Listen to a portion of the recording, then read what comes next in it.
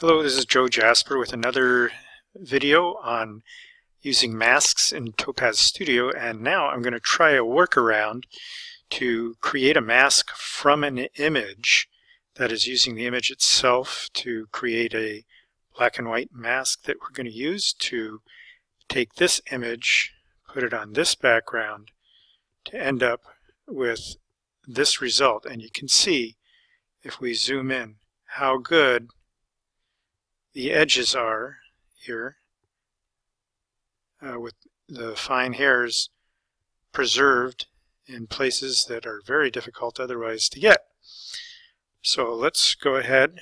Uh, first thing I'm going to do is come back to this image and I'm going to duplicate it and I might do that a second time just so that I know I always have extras to go back to should I make a mistake.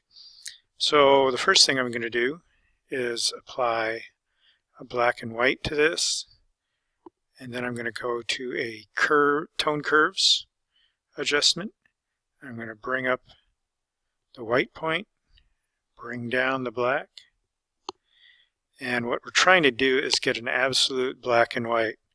And of course, the eyes and the mouth uh, are black, so we're going to have to compensate for that later. I'm trying to get rid of all the white in here and try to bring this as close to pure white as possible.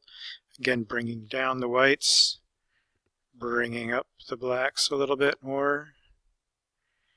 And I'm not going to worry about the log. We can fix that later if we have to. And basically we're going to a threshold-like effect if you're familiar with that in Photoshop. Uh, and so that's pretty darn good. Um, and we'll use that as the basis of our mask. So to do that, I am first going to uh, apply this so I don't lose what I worked on. And I'm going to go to a color overlay, make it red or some color that's easy to work with bring the opacity up to 100% or so. And then I'll create a mask. And I'm going to use Luma to try to create this mask. And go over to the black part of the image. And you can see we have a mask already. So if need be, uh, we can go down here and adjust these uh, luminosity range, etc. And you can even adjust the contrast. But this is looking pretty darn good. So now I'm going to pick up a white brush, brush, white, and I'm just going to go over the area of the eyes and the mouth to complete this mask.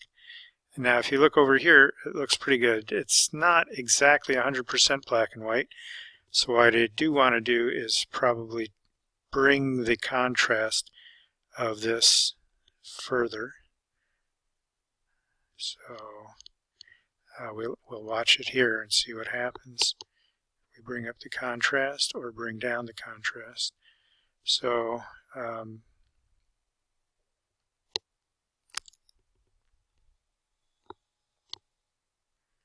I think basically we want to bring that up, but uh, the reason we're seeing the eyes through is we haven't uh, put the overlay uh, opacity all the way up.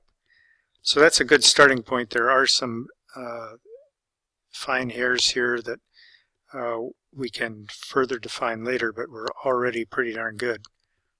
Uh, I do not want to feather it. I do not want to expand it. Um, Just going to bring that all the way. Okay, so now we have a mask. And we're going to come back to this mask, but I'm going to try to copy and save it now. Copy the mask. And then I want to add another image layer here. And this is first one's going to be our texture effect. Which I'd like to blur. So I'm going to come down to Enhance and blur it. And here's the blur menu.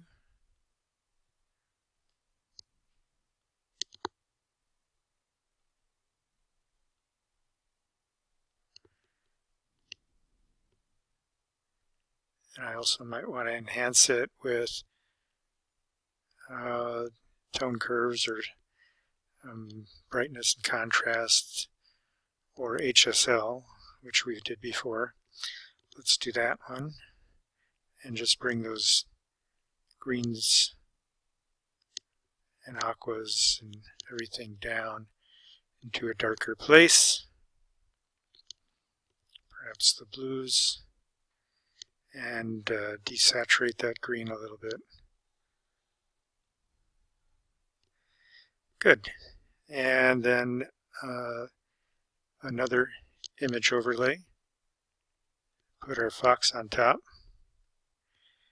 And uh, click on the mask and see if we can paste. And, oh. Paste didn't work, so I'm going to go back up to this cover, uh, color overlay layer, click on the mask, go to copy, then come down to the last image overlay, and then paste, and there we go. We're already doing pretty well. And now we can refine that mask a little bit.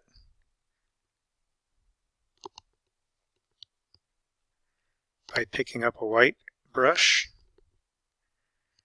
And I'm going to start out with it hard so that I know that in here we're, aha, see it wasn't, it wasn't the best. For some reason it didn't come 100%.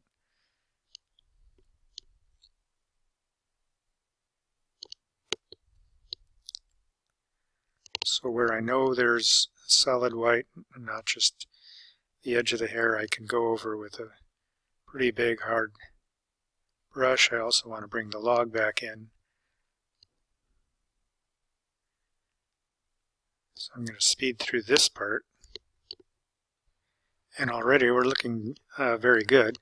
But then if you want, uh, if there's any place that doesn't look quite right, you can use a softer brush to bring stuff in, like here on the tail. I'm going to bring a softer brush in and uh, paint with white again to and that's starting on the solid part of the tail letting it spill over onto the little hairs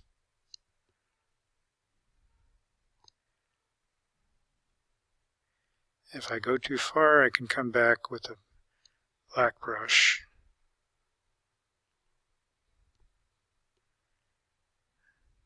bring the softness up even more.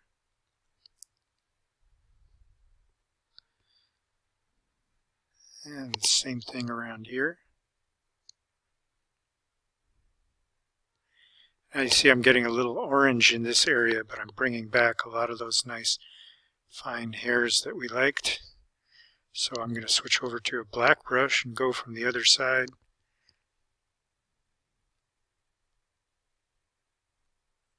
Like so, and it takes that orange color right back out. Uh, so there we go. Uh, we created a mask from an image. It helps to have a contrasting image. You can use the luminosity if the contrast is from dark to light. You can use a color if you have a different colored background. So for example, in portraiture with a color substitution, uh, excuse me, a color uh, sensitivity mask, uh, to substitute a background.